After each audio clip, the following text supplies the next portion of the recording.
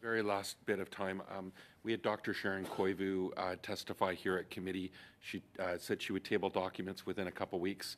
They've come to the committee. I want to make sure that those documents are available for the public. Uh, can I seek unanimous consent from the committee to allow those documents to be released publicly to be examined by experts? No, you don't have unanimous consent, Okay, uh, Mr. Johns. Mr. Mr. Chair, can I get the, an explanation on the rules that when this committee asks for documents from an expert witness, that that information should be public? Because it wasn't an in-camera meeting, and the request was not made in camera. Can I get some clarification? Um, I'm going to actually invite the clerk to step in here because the rules around production of documents are, are- a bit complicated depending on the wording. Uh, There are three ways that a, that a uh, committee can compel documents, but I'm going to ask the clerk to help us with that.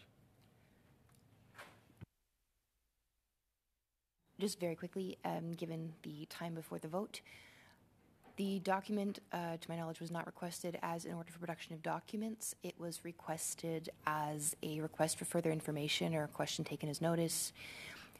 Documents that are tendered to the committee are the possession of the committee. The committee can do with them as they wish during this sitting. At the end of the sitting, all of the documents, unless they have been deemed by the committee to be confidential, are public and they are available to be searched.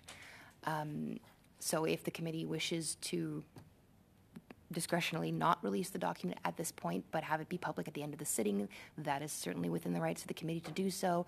If they want to render it public at, at any point, they can. They can choose to publish it on their website, or they can choose to designate it as confidential. All of those are options for the committee to consider. Okay, Mr. Johns, that's your time. We can continue this conversation offline, I suppose. Um, We've got about a minute before